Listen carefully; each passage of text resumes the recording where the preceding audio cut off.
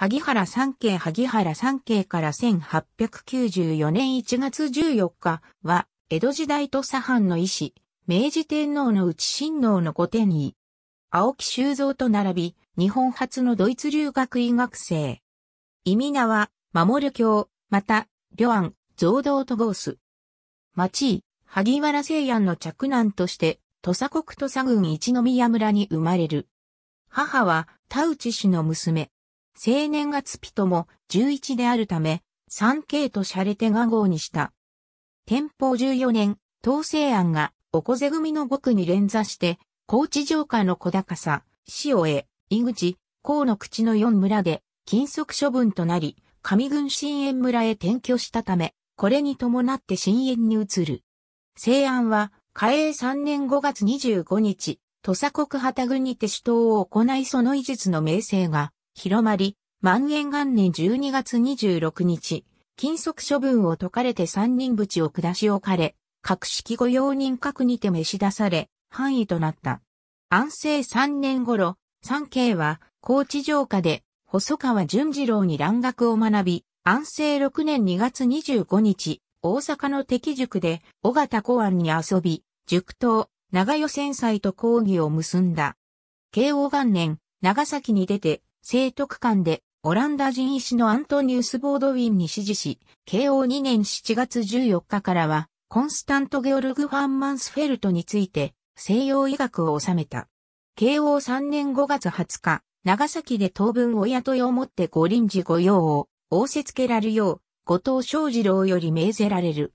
さらに、同年6月15日、用意主要法を仰せつけられた。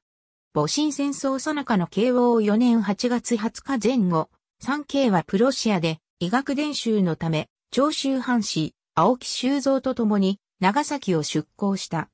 明治2年1月、フランスの国都パリに着き、3ヶ月泊まった後に、ドイツに到着し、日本人として初めて、ベルリン大学に留学した。明治6年7月、モンブリ時間、田中藤丸に随行していた欧州視察中の長代、千歳と再会し、医学統校の解剖学教授として招聘され、ドイツ人解剖学者のビルヘルム・デーニッツを伴って帰国。文部省出資を命じられ、医学校に奉職した。明治7年12月、デーニッツと共に東京医学校教授に任ぜられたが、間もなく退官した。明治8年、京都療病院に奉職し、明治12年に附属医学校の創設にあたって、その官学となった。明治14年同校を辞して、翌明治15年東京に戻り、旧土佐藩主、山内豊藩公爵の主治医となった。この時、豊藩の子三内と夜影が病を得ており、他の医師がこれを治療できず生命の危機にあったところ、産経によって回復を果たした。豊藩は感謝して報酬を申し出たが、産経はこれを再三誇示し、自分は豊か藩校のおかげで学問の一端を収めることができたが、未だその道半ばである。もし今回のことで報酬を受けられるのであれば、学問を最後まで全うしたいと申し出、豊か藩もこれを許した。明治17年8月、三慶は再びドイツに留学し、森林太郎、長与正義らと共にライプツィヒ大学で医学前科を学んだ。この時の留学メンバーは三慶と、大外、長与に加え、片山国香、丹波慶三、田中昌平、宮崎道三郎、熊川宗夫、穂積康香、飯森町づくりの合計10名。後に王外は、この10名を題材に、日東十脚歌を書いている。